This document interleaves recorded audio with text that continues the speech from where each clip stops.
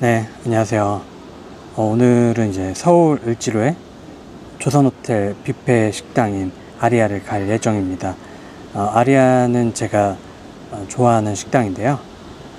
한동안 이제 뷔페 회의론자로 지내다가 성게알이나 이제 대게 같은 음식을 식당 가서 각각 따로 단품으로 먹어도 이게 꽤 비싸고 집에서 먹을래도 좋은 재료를 적절한 가격에 구하는 게 어렵더라고요.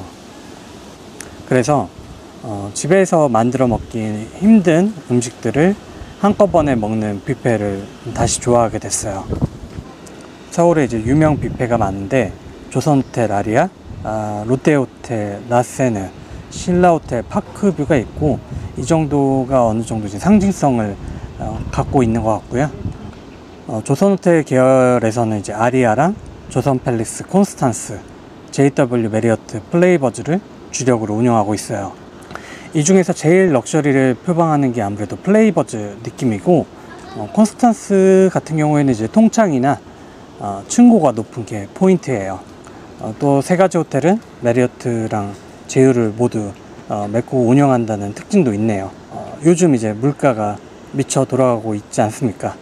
어, 제가 언급한 뷔페에서 저녁을 먹으려고 하면 아, 모두 20만 원에 육박하고 있다. 이제 올해 12월이 되면 연말이라고 가격을 올려받을 것 같은데 결국 20만 원이 깨지지 않을까라는 생각을 해요. 아, 아리아 얘기로 돌아오면 조선호텔은 되게 오래된 호텔이에요. 환구단이라는 사적 앞에 있는 heritage가 있는 호텔입니다. 한국에서 제일 럭셔리한 호텔 이런 건 전혀 아닌데 많은 분들이 heritage를 보고 가시는 것 같아요. 어, 메리어트의 웨스틴 브랜드로 계약해서 하고 있고요. 어, 웨스틴이 아무래도 좀 특징이 별로 없는 브랜드다 보니까 어, 웨스틴이어서 가시는 분들은 잘 없을 것 같고 어, 메리어트 회원이어서 가는 거 반, 조선 호텔이어서 가는 거 반 정도 되지 않을까. 아쉬운 점이라고 한다면 이제 한국 호텔 운영의 전반적인 아쉬움과 연결이 되는데 식사 시간에 제한을 줘요. 이게 무슨 time attack 같이 어, 1시간, 1시간 50분 어, 이런 식으로 식사 시간에 제한을 주는 게 안타까운 부분이고요. 어, 호텔에 오는 게 아무래도 별 목적 없이 뭉개면서 쉬는 건데 시간까지 신경 써가면서 해야 되나 이런 생각도 드네요. 피트니스 사우나 수영장도 편하게 쓰는 게 아니라 하루 한 번 뭐 이렇게 제한을 하고 있습니다. 뭐 코로나 때는 좀 특히 심했고 어, 주말에도 이런 경향이 있고 한데 어, 이런 게 좀 아쉽죠. 근데 뭐 특급 호텔인데 뭐 수영장 입장료를 따로 돈 받는 그런 다른 곳에 비하면은 양반인 것 같기도 합니다. 조선호텔은 이제 식음업장이 유명한데 일식당 스시조가 제일 유명하고요. 어, 중식당 홍현도 상징적이다. 루브리카는 상대적으로 좀 캐주얼하고 아리아도 적당히 넓고 차분하게 되어 있고 분위기가 편해서 어, 방문하기가 좋다. 환구단이 보이는 이제 라운지와 나인스 게이트는 view가 너무 좋아서 밤낮 없이 메리트가 있다고 생각을 합니다. 이제 아리아의 장점은 한 건물에 이제 유명 레스토랑들이 있다 보니까 이 레스토랑의 레시피 노하우도 전수받고 어, 가지수 많이 안 가져가고 하나하나 맛있게 만들자 이렇게 가는 게 특징입니다. 어, 유명한 메뉴는 아무래도 대게가 제일 유명하고요. 초밥 코너도 괜찮고 커피도 괜찮고요. 음. 어, 조선호텔 김치 괜찮습니다. 아, 그리고 이제 19만 원으로 가격 인상하면서 어, 특식 메뉴들이 있습니다. 어, 성게알 해산물 덮밥이나 수박 빙수, 어니언 스프 이런 게 있는데 어, 지난번 방문했을 때 제법 다 괜찮았습니다. 수박 빙수는 이제 라운지에서 파는 여름 메뉴이고 onion 스프는 이제 나인스 게이트에서 파는 레시피대로 만들어 준다고 하는데 이게 자사의 타 업장의 인기 메뉴를 뷔페라는 한 장소에서 서빙하는 컨셉은 상당히 잘 잡은 것 같아요. 이제 아리아도 고심이 많은 게 느껴집니다. 이른바 이제 네임드라고 하는 호텔들이 다 19만 원으로 가격을 올렸는데 또 이거의 격을 맞추려면 안 올릴 수가 없잖아요. 그 와중에 경쟁은 또 치열하고 어, 그래서 이제 올해 초에 가격을 올렸죠. 어, 그러다 보니 이제 여러 가지 특식이라는 기획을 통해서 이걸 보완하고 또 할인 이벤트도 많이 하고 있습니다. 랜더스 데이라고 20% 했고 현대카드 VIP 고객들한테 30%도 한 번 했고 그리고 최근에는 4달 동안 110주년 행사로 가격을 이제 16만 9천 원이라는 어, 특별가로 가격을 확 낮췄습니다. 이런 데에서 좀 운영의 묘를 찾고 있지 않나 싶네요. 어, 주차하기는 좀 안 좋고요. 오래된 건물이라 주차장 입구가 굉장히 좁아요. 그리고 발렛 때는 카드 종류가 별로 없어서 무료 발렛이 좀 어렵습니다.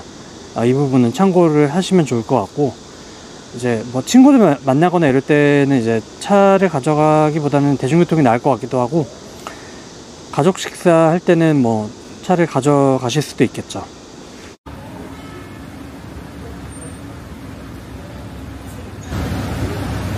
저는 이제 웨스틴의 후문이라고 할 수 있는 곳에 도착을 했고요.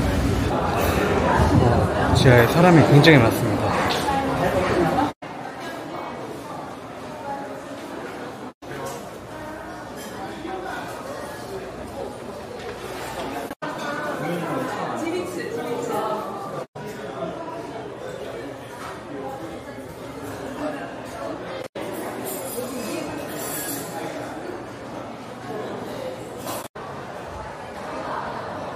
여기는 이제 로비 공간이에요. 이제 체크인도 할 수 있고 나인스 게이트라는 이제 French 식당도 있고 여기가 유명한 라운지입니다. 수박 빙수를 여름에 파는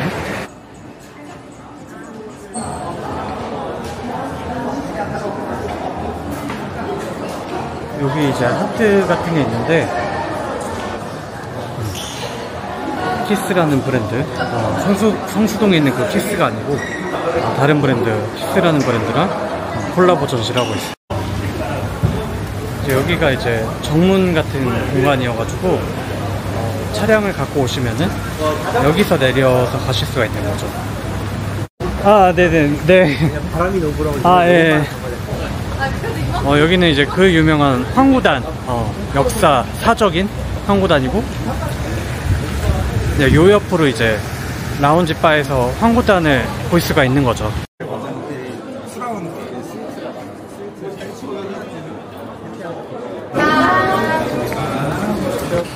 추가 좀 합시다 프렌치 어니언 숲 3개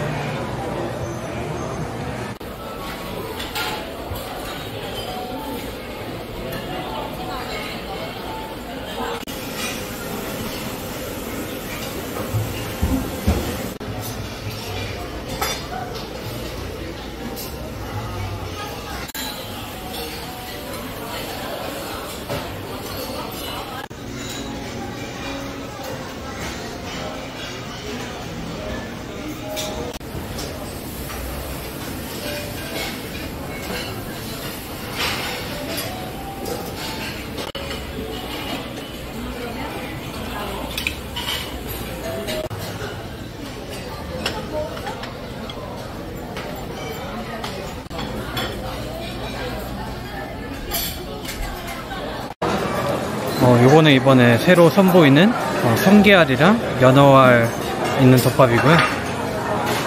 첫 번째 접시는 어, 콜드푸드 회 위주로 어, 가져왔습니다. 그 초밥 같은 경우에는 어, 그 대뱃살 있잖아요. 대뱃, 대뱃살, 참치 대뱃살을 좀 추가로 지어 달라고 요청을 드렸고요. 이거 같은 경우에 조선호텔 김치. 어, 조선호텔 김치는 이제 비싸서 못 사 먹는데 어, 뷔페에 왔을 때 이렇게 먹죠.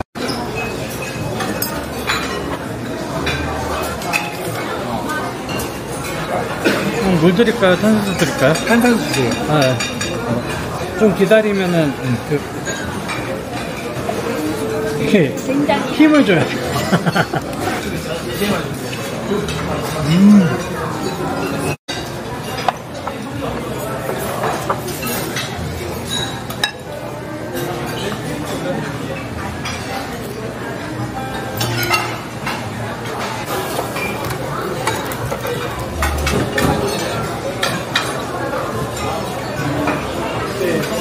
이 성게알 성게알 덮밥은 솔직히 너무 맛있네요. 어.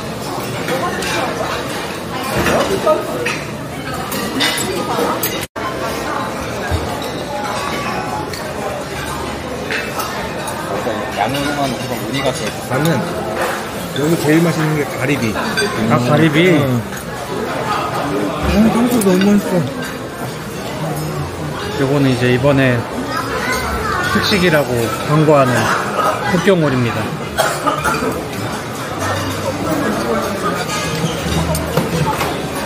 이거 무슨 편집도 네가 해?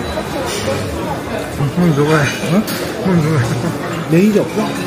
편집자 없어? 자 이렇게 이렇게 하고 있는 거예요. 아무래도 이 건물 안에 중식당 홍연이 있기 때문에 탕수육 맛있어. 중국 음식이 다 맛있을 수밖에 없다.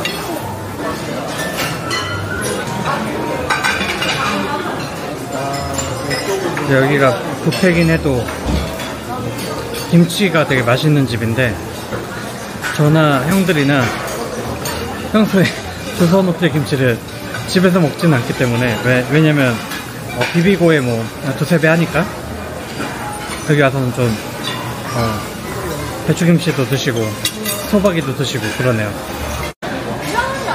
네, 이번 순서는 여기 아리아를 먹여 살리는 대게 그리고 이 양갈비 갖고 왔는데 양갈비는 그 라세느를 먹여 살리는 메뉴인데 사실 아리아도 양갈비 맛있다.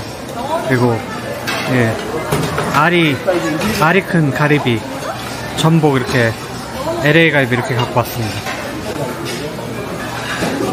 배불러도 어떡하지? 좀 쉬어요. 그럼 다시 배가 생겨. 올 때마다 느끼는 건데, 여기 양갈비 진짜 맛있어요.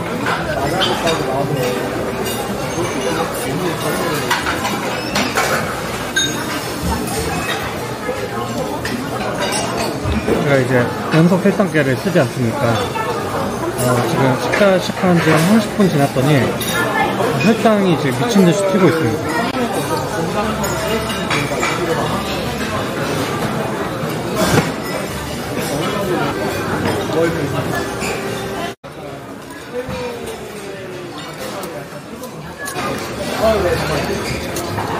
나는 잘 올라오는데 너는 안 올라와?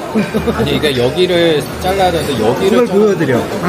이걸 보여드려. 보여드리고, 응, 응, 드십시오. 아, 수박 빙수가 나왔습니다. 라운지에서 주는 것만큼 뭐 예쁘게 나오진 않지만, 어, 그래도 라운지에서 돈 주고 사 먹어야 되는 수박 빙수를 어, 뷔페에서도 서빙을 해주니까 좋은 것 같아요. 무대가 기본이라고 생각했는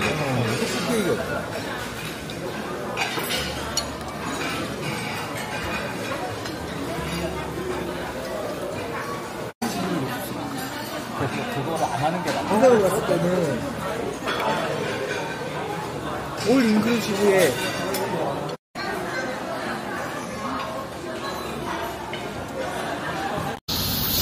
네.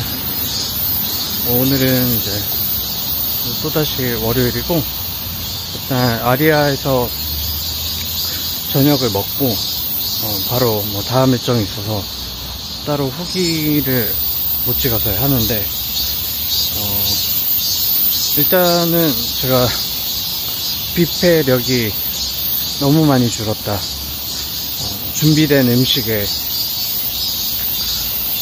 3, 40%만 먹었던 것 같고, 이전에는 그래도 준비된 음식을 한 입씩은 다 먹어본다라는 느낌으로 먹었는데, 어, 이제는 3, 40%밖에 먹지 못한다. 어, 심지어 섹션별로 따지면은 4개 섹션, 뭐, 인디아 섹션, 뭐, 초콜릿 섹션, 치즈 섹션, 이런 거는 아예 손도 못 댔어요. 그러니까 정말 뷔페력이 많이 줄어들어서 이제 뭐 은퇴를 은퇴를 해야 되지 않나 뭐 이런 생각이 들 정도입니다. 어, 식사는 좋았는데 뭐 하나하나 뭐가 다 맛있었다도 있는데 뭐 가령 그 우니랑 그 성게알이랑 연어알이 올라간 덮밥이 어, 꽤 맛있었고 그리고 러시아산 대게인 snow crab 워낙 유명한 어, 메뉴라서 뭐 사, 사람이 뭐 줄 설 정도로 또 유명한 제품이라 좋았습니다. 근데 이제 아리아의 장점이라는 거는 구멍난 메뉴가 없는 느낌? 그러니까 뭐 이렇게 뷔페 가면 뭐 하나는 이렇게 맛이 없는데 뭐 대체로 다 괜찮다라는 점에서는 어, 저는 구멍난 느낌이 없어서 그 부분 호감인 것 같아요. 어, 또 하나 또 좋았던 점이라고 하면은 이제 같은 건물에 이제 중식당부터 일식당, 뭐 French, Italian 어, 다 있다 보니까 아무래도 그 레스토랑의 노하우나 어, 레시피가 전수가 되겠죠. 어, 그런 면에서도 참 막 가지수가 엄청나게 많은 그런 뷔페는 아니지만 어, 하나하나가 맛있다는 점에서 어, 아리아의 경쟁력을 어, 느낄 수가 있었다. 어, 주말에 간 거는 되게 오랜만인데 어, 두 번째 식사 순서인 2부로 입장을 했어요. 2부로 입장을 했더니 어, 7시 50분부터 입장인데 어, 7시 반쯤에 이제 도착을 했죠. 막 영상도 찍고 그러고 싶어가지고 근데 줄이 꽤 길- 길게 서 있었고 어, 빨리 줄이 서지 않으면은 어, 7시 50분 조금 전부터 입장인데 어, 예약 확인하고 이러고 하면은 어, 입장하는데 그래도 5분에서 10분은 소요된다라는 점이 그런 부분은 이제 주말 식사의 아쉬운 점인 것 같아요. 어, 식사 시간이 이제 1시간 50분으로 되어 있는데 어, 부족하지는 않습니다. 1시간 정도 먹으면은 거의 뭐 식사를 어, 다 할 수 있다. 그래서 뭐 시간이 많이 부족한 느낌은 없었습니다. 또 호텔 뷔페 또 장점이라고 한다면은 이제 좋은 재료를 가지고 이걸 집에서 다 따로 해 먹으려면 뭐 어렵고 또 식당을 또 다 따로 가려면은 힘든데 또 요새는 또 외식을 좀 안 하려고 해요. 왜냐면 이제 다이어트도 하고 있으니까 그래서 외식을 좀 즐기려는 차에 한 번 가가지고 이렇게 뭔가 해결하는 느낌이 있어서 좋다.